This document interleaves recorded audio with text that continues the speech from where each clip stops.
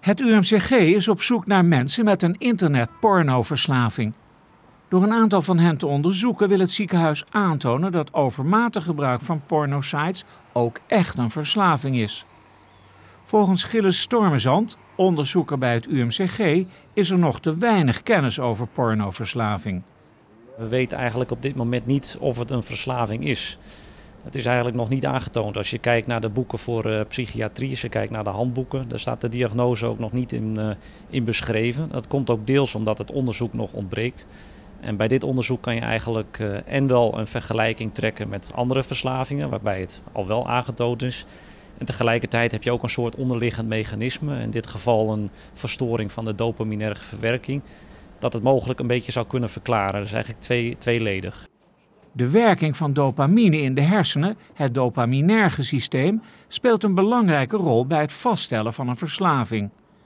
De mogelijke deelnemers die krijgen eerst een aantal vragenlijsten opgestuurd. Die zijn met name ook gericht op de ernst van het eventuele problematische pornogebruik.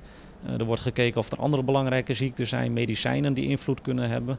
Als dat allemaal in orde is, dan gaan we door naar uh, de scans. En uh, dit is een van de apparaten die we gebruiken. Achter, u zit, uh, achter mij ziet u een uh, PET-scanner. En die PET-scanner wordt eigenlijk gebruikt om die, die dopamine-receptoren dus in kaart te brengen.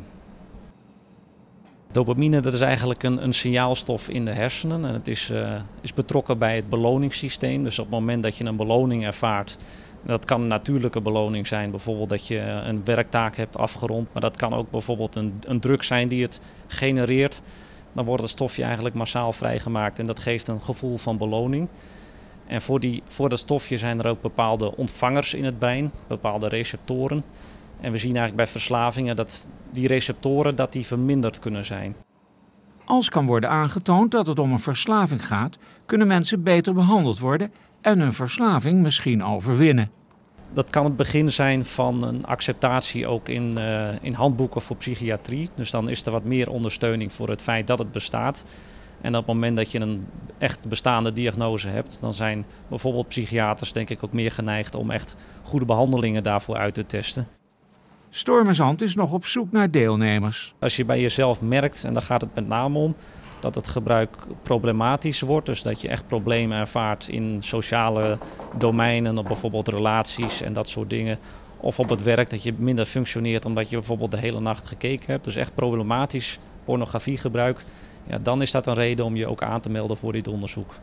Mensen die willen meewerken aan het onderzoek kunnen zich melden op de website van het UMCG.